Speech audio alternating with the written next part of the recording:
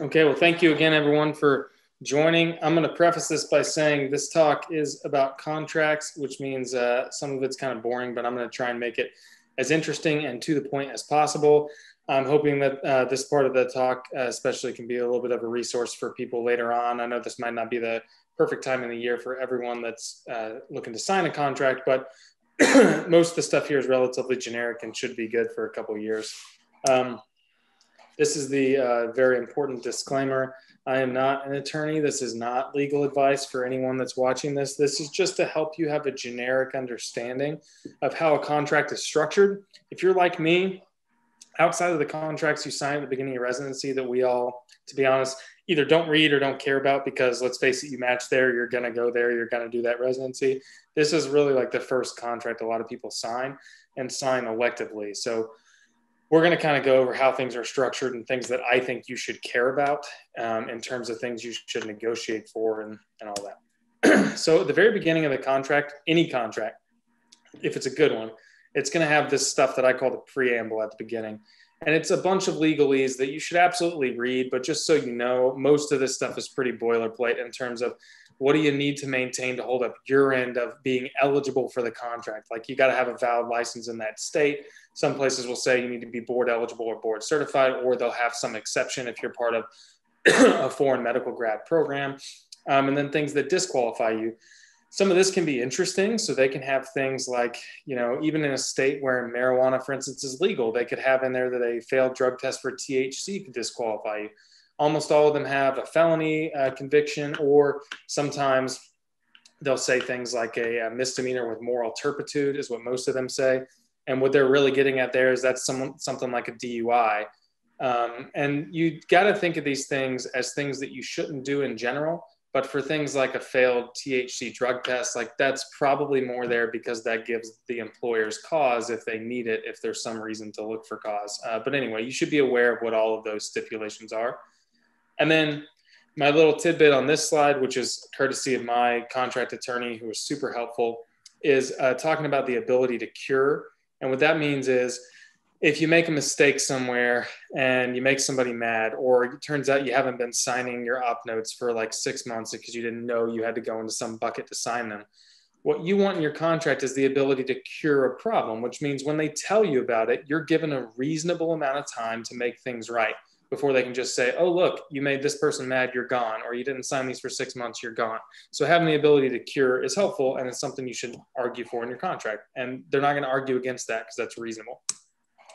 Um, need, they're going to talk to you about what outside work is in your contract.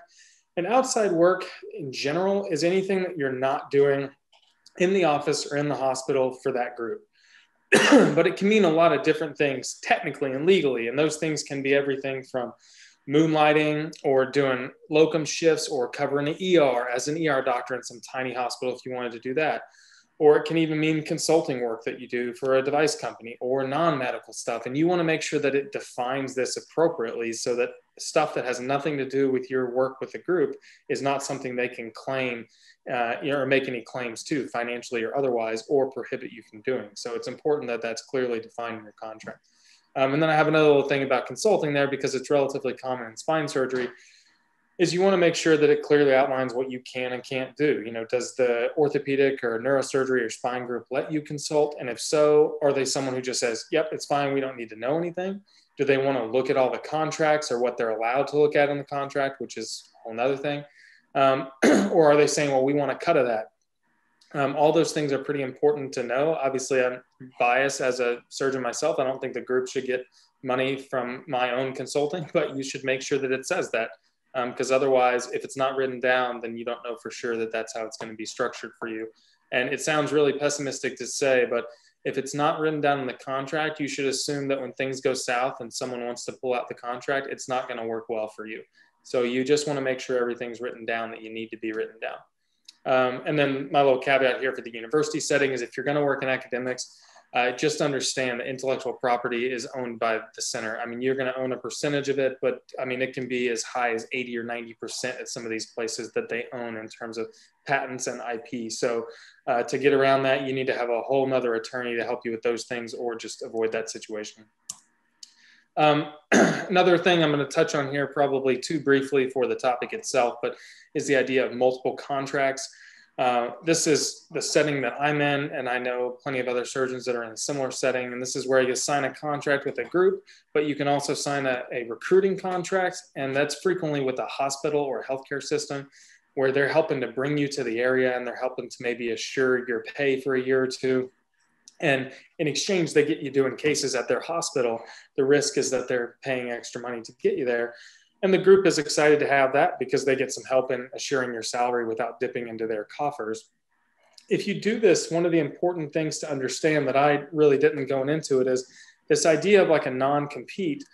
Non-compete or a restricted covenant, you know, says areas where you cannot practice, right? If you're I, with a group as an employee or a partner and they have a non-compete that says you know within 20 miles of our main headquarters if you leave the group or we fire you or whatever then for a year you can't operate within this bubble unless yada yada yada. Maybe it's you got to pay a certain amount of money to end the non-compete or whatever the hospital recruiting contract kind of works the other way around. It requires that you have the ability to work within their bubble and they structure that differently. They might say the three zip codes that make up 90% of our income or whatever it is or 90% of our patient volume that's where you have to have the ability to operate within so since those two could potentially conflict each other one of them has to supersede the others and typically the case here uh, of course, you should clarify in your situation, but typically the case is the uh, hospital recruiting contract supersedes the group contract um, which means that that group contract, that, that portion of it will either kick in later or you will sign a new one at that point in time. Um, so that's just kind of an interesting thing. Uh, the point of the recruiting contract, either through a hospital or even sometimes through the same group, is they're going to want to uh, provide you with a salary guarantee, which um, you know we'll talk about more in a minute too. But essentially says that you're going to get paid like you have a salary, even if you're in a private group that typically functions on eat what you kill model because um, they're trying to support you while you're building up. And then when you get to that next stage, whether it's a year, 18 months, two years, whatever you guys agree on, you would then convert to your other earning model. Um, in terms of call coverage and patient flow, this is another thing that doesn't really get talked about a lot, at least amongst my friends. What I think happens is you interview, and when you go on these interviews, you have a phone call, and then you go to dinner, and then you might have drinks after that. And somewhere between like the fourth and sixth drink someone brings up that you know i really like fixing ankle fractures and then you say yeah that's great you can have them all. And haha we all laugh and then you leave. And like guess what? That doesn't mean anything nothing literally nothing so what you got to make sure is when someone calls whether it's their primary care doctor sends them or they come in from the er when no one in your group was on call when someone calls who determines where they go and what's the algorithm they use is it the front office person who's known your partner for 20 years and someone just called with the best insurance in town? Because if so, and there's no algorithm, you're not getting that patient, right? You're going to get the next three Medicaid patients and your partner's going to get the best payer. And I know ethically we shouldn't care about that. And that's great and all, but you still got bills to pay and you can't ethically practice medicine if you can't open the doors to your group. So it's important to know how this is determined. Is it every other patient? is it only when you're on call do you send all the foot and ankle stuff to the foot and ankle guy and they send all the spine stuff to you like how does that work so you want to spell that out and that might not be on the first dinner but it should definitely be before you sign the paper so then other things like here is general ortho like i talked about there if you're in an ortho group uh, if you're in a spine group then it can be just the random calls coming in from the primaries and then the internal referral stuff is also important. If I'm in an ortho group and there's two spine guys here, so when the foot and ankle guy needs a spine surgeon, is he just sending it to the one of the two of us that he likes better or that he thinks needs, you know, is better at that problem, or is it random, or you know, there's no right or wrong answer in that situation. You just want to know what to expect with the internal referrals. Um, then there's the call stuff.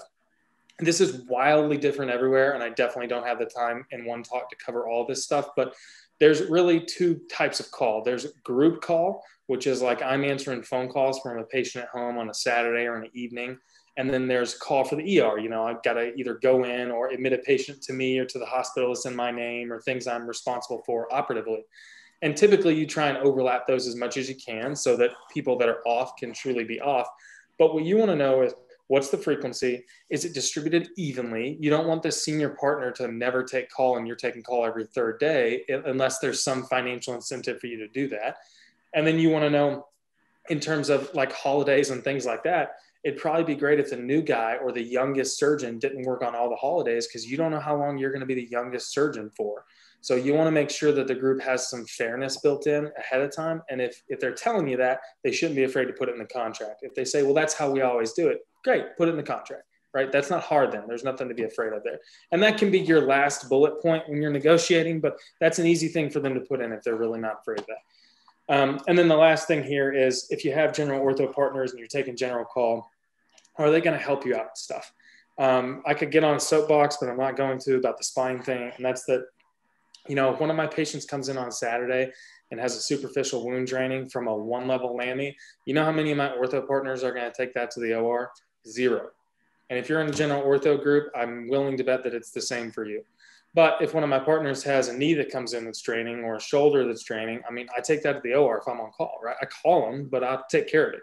So since I'm going to do those things, uh, and I feel like I'm doing a little extra, I want to make sure that, especially if I'm on call and some blown apart you know, periarticular distal, you know, or distal humerus fracture or something comes in that my shoulder elbow guy is going to be able to take care of that or should.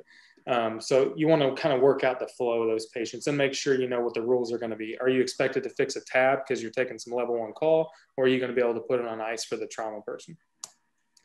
Um, so uh, I'm going to give you the information the, on my last slide from my contract attorney, who I think is just a total baller. Um, but a lot of this information for this slide I got from him. And that's because I gave him an offer letter. I was like, hey, what do you think of this offer letter? Should I sign this, you know, to get to the contract stuff? And he was like, absolutely not. And he, and this was before I knew him. And he said, you're going to get to know me better, but I'm just going to tell you now the answer is no. Um, and here's why. And he basically what he said is, yeah, it's going to have these numbers on it, but they're totally out of context. Right? Like there's a reason my contract was like 17, 18 pages because there's that much information they care about. So they could put these numbers and say, hey, we're going to pay you a million dollars a year. And you're like, oh, yeah, this is great. And you sign it. And then the contract's like, but you have to take call every single day. And if you don't, you have to pay it all back by Thursday. Like, so you don't know what the contract's going to say. The problem is it's not legally binding if you sign the offer letter, but it is in, in, a negotiating sense, a huge landslide victory for the other side. Makes it very challenging for you to claw back at things because they're going to say you're not negotiating in good faith either out loud or they will use that indirectly. So one of the things he said, I have in the green thing at the bottom here, which I think is super awesome to, to have in, in terms of context, 500 physician contracts he's done three times in negotiating have they ever had an offer pulled and all three of them was because the physician signed the offer letter and then tried to slide the amount because of the terms and the, in his opinion the physician was reasonable in doing so but the people they were negotiating with were like, no, you signed it. It's too much. We, we don't want to move off of that. We are only here because you agreed to that, blah, blah, blah. So the long and short or the long and long is don't sign the offer letter. You can use it as a general tool. But if they're willing to give you that, say, this looks promising. Can you send me the whole contract and take a look at the whole thing? Um, next thing, try not to get too bogged down, but as overhead, it's something we don't think about much as residents and fellows but it's the cost of doing business quite literally. So it's, you know, how are you paying for the electric bill? How are you paying for the medical assistant? How you paying for the health insurance for the people in your group? And then depending on how you do your accounting, if you're in a private group, it's also your own salary potentially is included in your overhead on the business side. Um, and this is one of the benefits to being an academic or an employed physician is that you don't necessarily, it's not that you don't think about this, but it doesn't directly impact your pay as much because your pay is either salary based with a bonus or salary without or somehow incentive driven, but it's not, you're not worried about what other people are getting paid as much. Um, the, the general ways this can be arranged is there's the fixed percent, which basically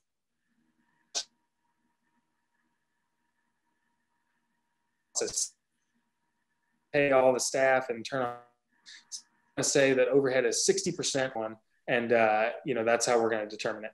Um, so that's in my opinion not great because if you earn more you pay a whole lot more but there are groups that do that um, that can be pretty heavily taxing for spine surgeons and you might kind of float the other surgeons making less than you but again i don't have time to get into that but that's possible the other option is a fixed amount where they say, look, we divided this up and we know how much each clinic's going to cost. And we think that your total overhead for the year is going to be 25,000 for this example, which would be low, but let's say that's what it is. Uh, I'm sorry, 25,000 a month. And that's what you're going to pay every month. And if you earn over that, you earn, you get to keep everything over that. And so in the first year, you might not be hitting that target. but five years in, that's basically how you determine what you make. And you eat what you kill model. It would be, do you make 50,000? Great. Then you get to keep 25 and you pay 25 to pay the bills. If you made 60,000 this month and next month you're going to take a week off, then maybe you expect to make 45 because that's a week of not making money. Um, and then at the bottom there is just kind of a different options with, is there a base salary where they give you your base? And then once you collect up to your base and the overhead, then they either start paying you after that for your bonus money or there's a dead zone where the group makes some money and they're basically offsetting the risk and you not covering uh, for their money there and then you get paid a percentage over the top of that.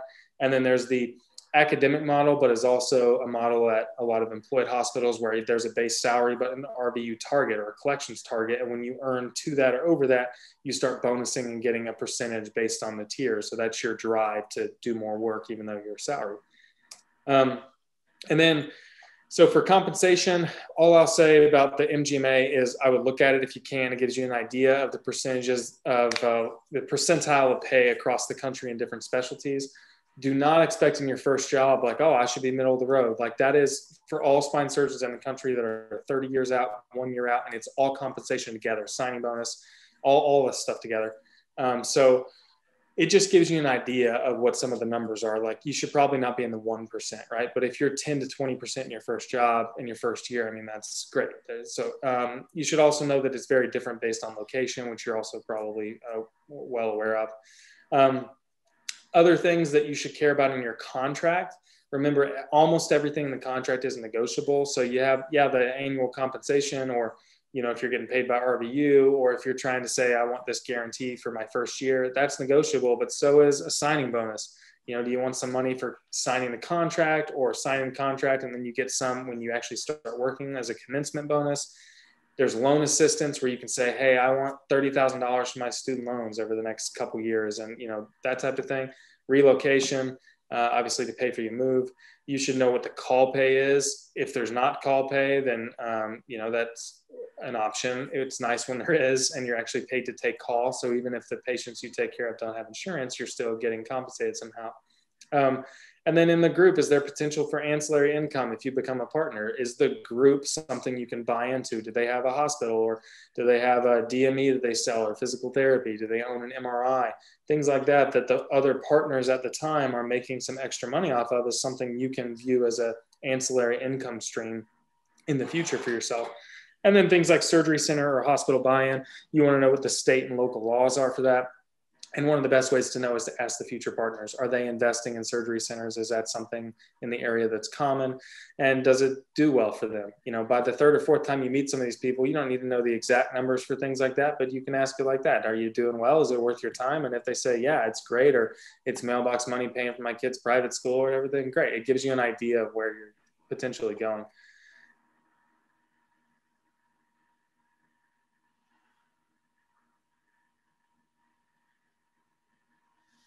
Free? What's the benefits like? You know, it might be expensive, but is it covering everything you want? Do they offer an HSA? Can you get a research assistant if you're uh, into that? And then for time stuff is do you get paid vacation? If you're salaried, paid vacation is a real thing. So you want to know how much of it you get. And then if you're, especially in the academic world, do you have protected academic time or are they going to ask you to do all these extra things until you figure it out and then you're doing it on the evenings or on a Saturday? And if you want the academic time, again, like make sure it's in the contract. You get a day a week or half a day a week or whatever it is you need to do what it is you're expected to do. Um, so this is kind of a private practice look real quick, but I think it's helpful for a lot of people is when you start working, you're not making as much as you cost, right? That's how they they're paying you extra money so that you can feel like you're getting out of debt a little bit with the rest of the world, but you're probably going to go in debt to the group for a while to do that there's a billion different ways to do this, but I want to familiarize you guys with a general structure of kind of how debt can work. So um, you want to ask how this is going to work in the beginning. So if I make a thousand dollars, but then I get paid, you know, 30,000, like what is that other 29,000? Where does that go? When do I have to pay it? What's the interest on it? Uh, and they should give you a P&L, um, which is basically a sheet. It's a projection for like the year for you for how much money you're going to make. Uh, what are you going to bring in? How many RVUs are you going to do? Or cases do they think you're going to do? And what are your costs going to be? And it should give you an idea of what's reasonable to pay yourself, how much debt you'll go into during that time. and uh, it's it's very helpful to look at for someone like myself who at the time had hadn't seen one yet. Um, and then things like where's call pay going to happen if you're getting paid for that? Do you get paid on your own? Does it get applied towards your debt? Does it go through the group? Stuff like that. And then a really important thing in your contract is let's say you still owe 50,000 to the group because you're two months in and you know didn't make a ton of money yet and the group terminates you without cause because they decide like well we're done with that. What happens to your debt then? Because it'd be a real shame if you had to pay it back and you only had the ability to earn the money to do that. So those are things you want to look at in the contract. So i'm going to give you a quick math example. I promise this will be like three eh, probably be five minutes but uh, i just want you guys to be able to follow the dollar. And this is like a shell game that I really encourage you guys to do. If you're getting near the end of a contract with someone, ask them this. Be like, well, let's run through a month and let's say this and let's assume this and just see where things go to make sure nothing comes out of the blue. So here's an example of you're joining a private practice, no hospitals helping, you're just joining the private practice and you decide or they decide or you decide together they're going to salary you at 360 a year and your overhead's 25,000 a month and it's starting in month 1 well, then, okay, so every month my liability is 55,000. I got to pay myself and I got to pay the overhead. And let's say month one, you just crush it. And I mean, crush it for month one and collect 15,000. I don't know how you're doing that, but you somehow make 15,000 the first month. Well, you're 40,000 under what you owe. So essentially what that means is they'll let you pay yourself your salary and they got to pay your overhead for you. And you're now in debt to the group 40,000, right? Because you're 40,000 short of what you earned.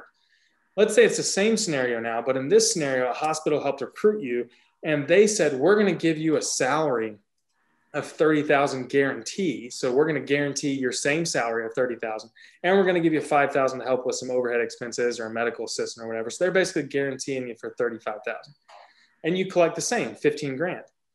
Well, then what happens is the hospital writes you a check for 20,000 to get you up to that 35,000 that you want to be at, what they guaranteed. So now you're at 35,000 and you're only 20,000 shy. So what happens is you earn the same amount, but instead of being in debt 40,000 to the group, you're only in debt 20,000 to the group. So the guarantee helps generate extra money that the hospital is paying for because you're in theory doing cases with them, but it's reducing your debt burden to the group. And now let's say we go to the next month and this next month, or we're four months down the road, whatever, your overhead's 25,000 still, your same salary, same monthly total liability, and your debt to the group is now 80,000 because we're a few months in, you've been in the negative. But this month you just went insane and you collected $75,000. So the hospital doesn't pay you anything because you've exceeded the guarantee. So they're, they don't have a liability to you. And then you look at the second to bottom line, you're 20,000 over now. So you paid yourself, you paid your overhead, and that extra 20,000, that goes towards your 80,000 debt. So now you only owe 60,000. So you do this a few more months and then you're totally out of debt. And the whole time you were able to maintain this base salary to yourself. So that's the premise behind a salary guarantee. Again, I can't stress enough, there's a billion ways to construct the nuances, but the idea is that you maintain a steady salary while a debt builds up in the background and then you get yourself out of it by bonusing above whatever the guarantee is.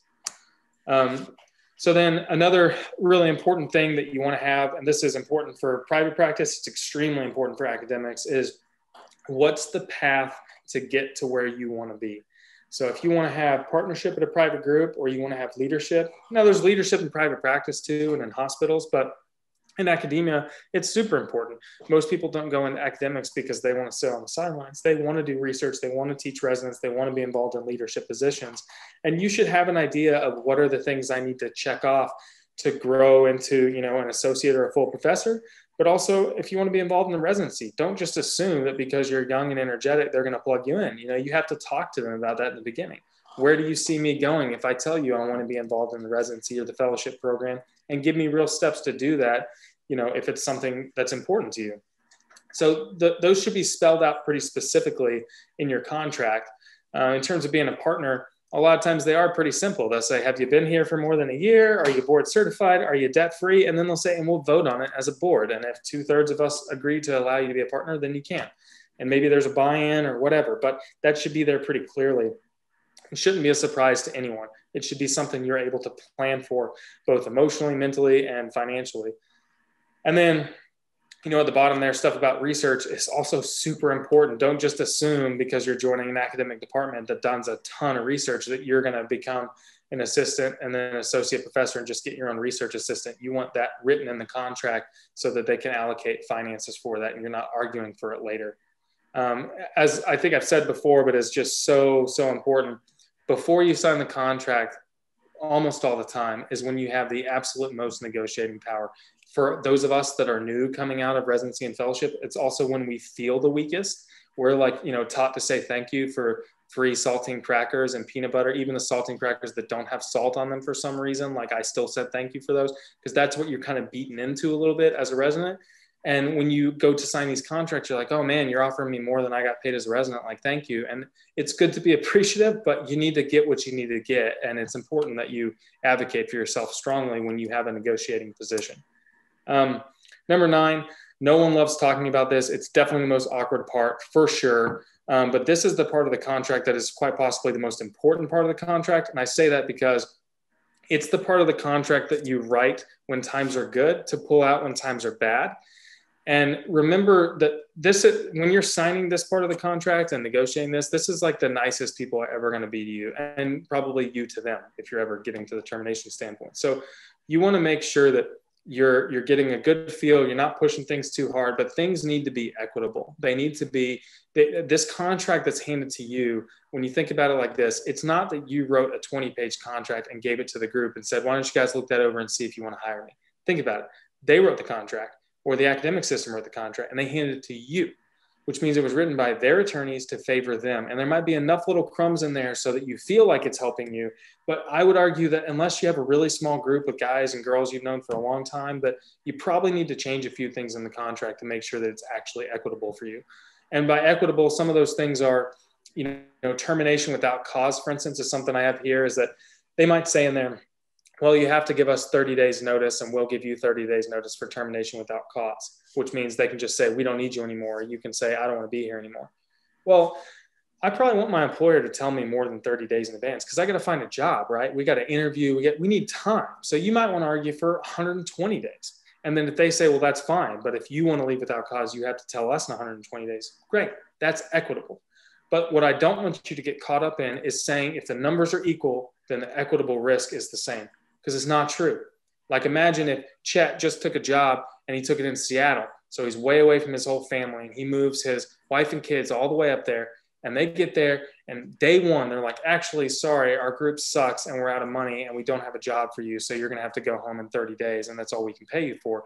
The risk for that group and the risk for chet or dr donnelly is not symmetric right? It's not even close. He's taking on way more risk by doing that so one of the things my attorney recommended is propose a moratorium. Say we can do the 90 day equitable termination without cause, but I want a one year moratorium on you being able to tell me that.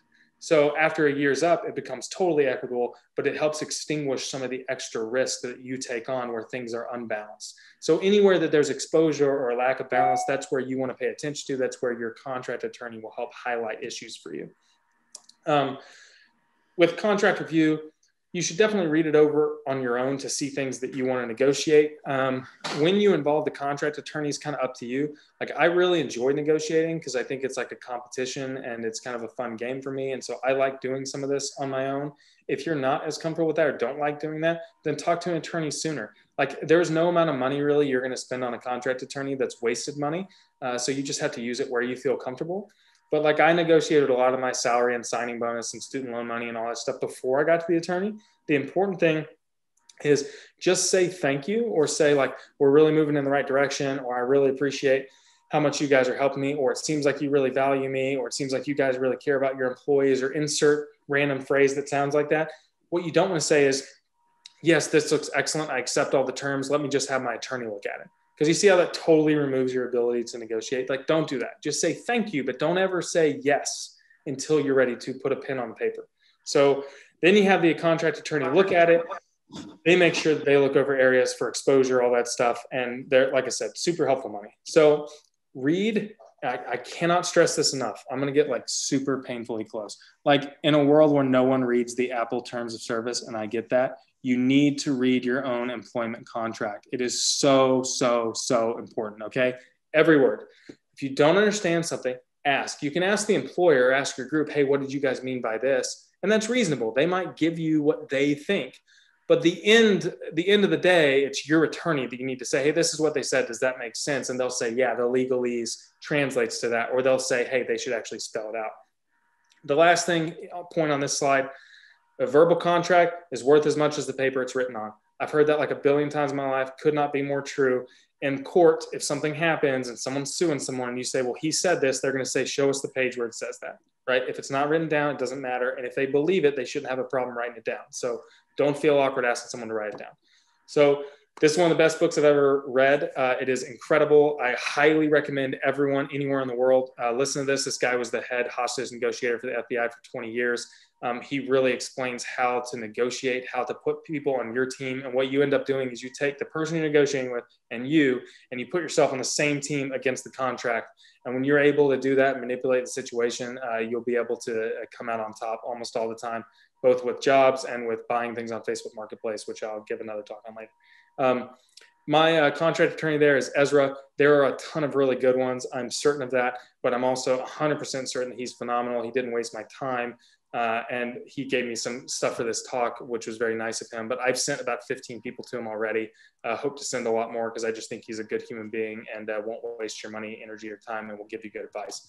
Um, so with that, my email is at the top. Please feel free to email me any questions that you have. Obviously, I'm on uh, Instagram a lot too, uh, and try and respond to those messages. But um, it's kind of a scary time when you're getting ready to do the contract stuff, but don't be intimidated by it. Just remember, don't say yes until you're ready to sign it with the paper, and that gives you room to keep moving.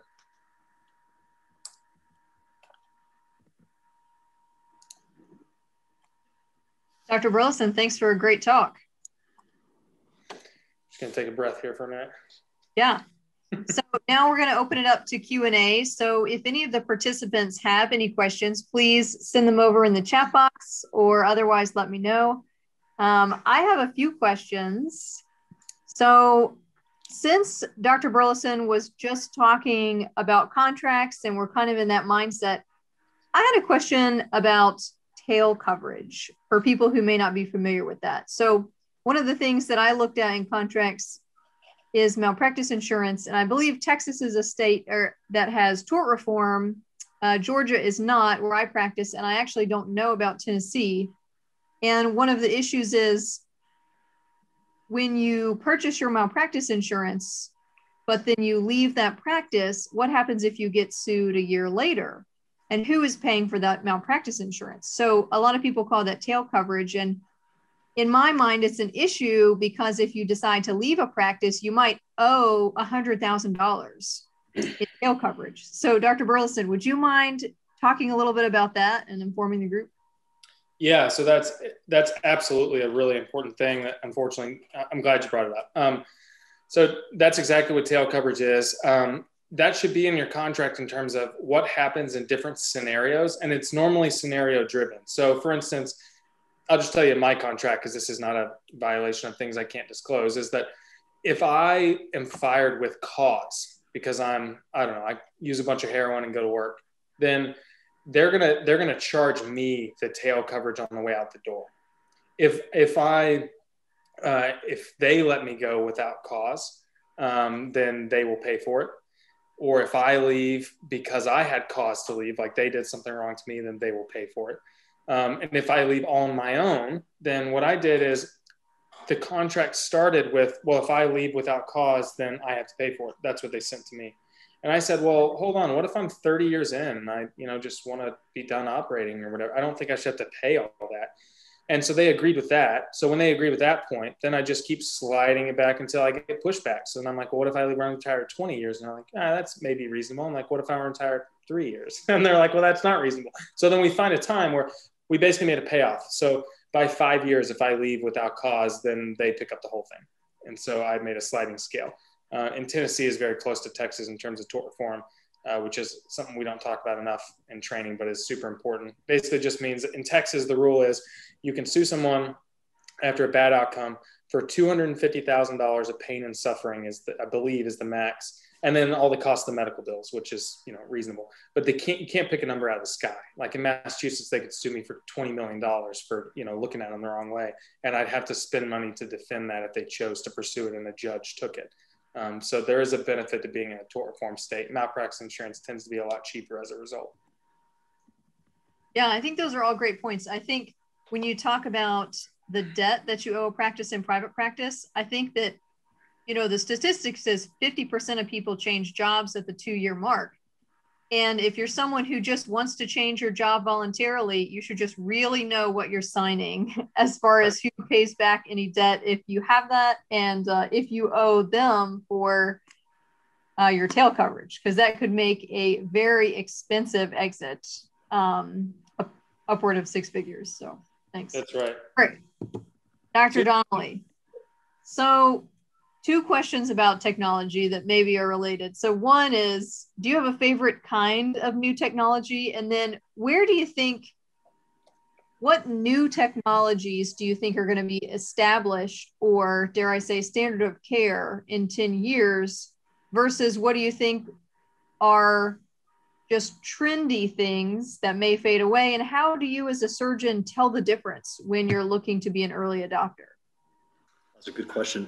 So I think things we've even seen some, you know, in our own short career. I remember starting residency, we were putting in a lot of Coflexes, and they seemed great, and not knocking those. But now I bet both you and John take out more of those than you put in, for instance. And at the time, those were great because, you know, the big hot buzzword is non-fusion procedure where you're putting in metal. Essentially, it's probably not the buzzword necessarily, but anything you can do to get the patient to move less without fusing them.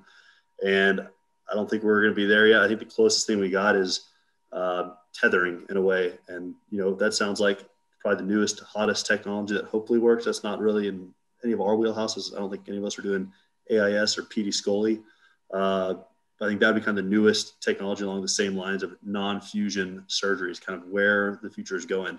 There's a lot of neat, fancy things out there like that top system, but I definitely wouldn't put too much stock into that yet. I hope no one finds this clip in like 10 years and be like, ha, see, it was, it was God's gift to man. See, and I think that that just speaks to how hard it is to tell, you know, what's going to stand the test of time. Anyway, please continue. Yeah, exactly. Probably someone in, you probably find a clip like 30 years ago. Someone's like, oh, pedicle screw, that's going to be crazy. That's never going to work. And look at us now. So, you know, it is hard to tell. I guess the thing is, I don't plan on being the newest high tech innovator. Maybe 20 years from now I can be that. But I think at this point now, the key thing for young surgeons is don't try to be the famous new person using the hottest technology. Kind of do what your other partners are doing and do it what you're comfortable with and what's still safe.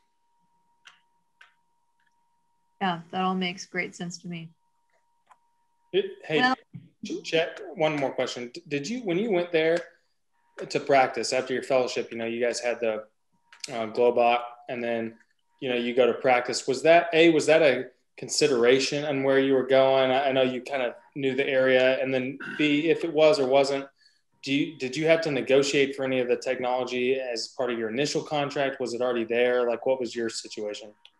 Um, mine since i was like a private practice spine only group we are kind of kind of could go anywhere we want in the entire city to operate. So the place i go to use my robot is med city frisco which i think you've probably been to a ton of times. And they're kind of the only one in town that have the robot. And you know, if other place closer to either where I live or where I practice had it, I'd probably do even more robotic cases. And I tell them that all the time. Like, if you guys get a robot, I'll take 100% of my robot cases to your hospital instead. So it wasn't really negotiated. And I kind of tell them I'm not trying to be the champion for having them spend like 1.3 or 4 million dollars just on my behalf. But my kind of thing I've been working with is trying to talk to a couple other young surgeons in our shoes to see like, hey, if we each think we'll do like three-ish robot cases here a month, and that could add up to 10 to 12, and then the hospital would buy it. So I think if you don't have it, just as you said, the best way to get it in the beginning is to have your hospital try to buy it for you. I think that's a you know much more about that than I do, but probably your next option too that might be more realistic, might be less, is just kind of know your market, get a couple young surgeons with you, and all kind of commit to one hospital that you guys all like and can right. maybe guarantee like 10ish robot cases at that hospital, and then it's worth their while. Awesome question because I think about it every day right now. Is uh, how do you? Uh, what advice do you have for younger surgeons, especially like the three of us, during board selections for new technology? I would not use anything too crazy during that six month board because you got to think about the people doing your board examinations. I always reference are kind of the Frank Eismonts of the world who are in their mid 70s and do really well with what they know. And if I'm coming out there trying to say, oh, I did a augmented reality prone lateral with perk screws and the top system, they'll be like, well, that's I've ever heard. You could have done it a lot cheaper, safer using this stuff. So I think, you know, again, when I'm talking about technology, I'm not trying to argue about the new gimmicky product. I would just stick away from those for the first several years. I would focus more on the uh, telemarketing. I know that's a, or, sorry, telemedicine aspect of new technology. Robots kind of established that's a good way from a marketing standpoint, and it's also does provide a level of safety. There's no debate on that. And then the other thing I focus on is kind of the surgical approaches. ALIF is was at one point considered a new surgical approach and was considered cutting edge and crazy at the time. Now it's standard of care. Same thing with um, with lateral approaches. Now lateral approaches are very standard. So I think there's a whole nother debate, and I don't know the answer. Is doing a lateral, even in the lateral position, um, a little hairy for boards? I don't think it is. I know I've talked to some people that say that they're not doing any laterals during boards. So I think in terms of that aspect, that's something I don't know the answer to, and hopefully I don't find out the hard way. yeah, I was going to say you and you and I together will be repeating next year if that's the case. Yeah, I was like, I think laterals are good, but I've talked to people who say, "Man, I can't believe you're doing laterals during boards," and I don't know. I feel like I guess it depends on where, where you train and what you've seen and what you're what you feel safe with.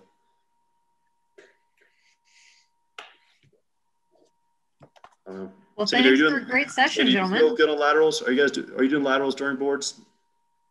Me? Yeah. So I am not actually, but some of that is driven by my practice locations. So I am very passionate about working with what I would consider sometimes underserved populations. So I work one at a county hospital and then also at the Atlanta VA. And my plan coming in was to establish like safe, successful open surgery.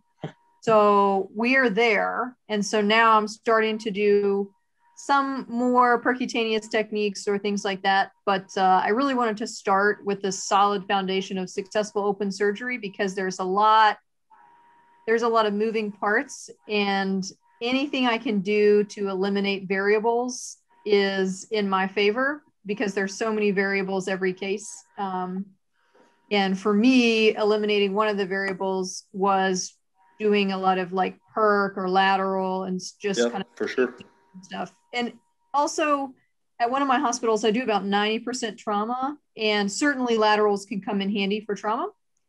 Um, but generally, I've been treating those more traditional. Yeah, that's fair. So yeah, that'd be my thing for the younger surgeons coming out. Just uh, echo what Dr. Ziegler was asking. You know, I wouldn't be using new technology in terms of implants. I would kind of just stick away from those, even if they are God's gift to man. Just hold off for maybe a year or two, kind of let other people more established with more credibility uh, establish those and let papers come out on some of the newer implants. But in terms of approaches and even the things that we know are going to be good and safe, like telemedicine, I know it's silly to call that a technology, but that's something we weren't using two years ago and now is rampant. Um, that's something just key things to focus on and kind of separate yourself and try to connect more patients, more providers, and more PCPs. All right. Well, thanks everyone for a great session. All right. Thanks everyone. I appreciate it. Thanks, guys. Thanks. Have a great night.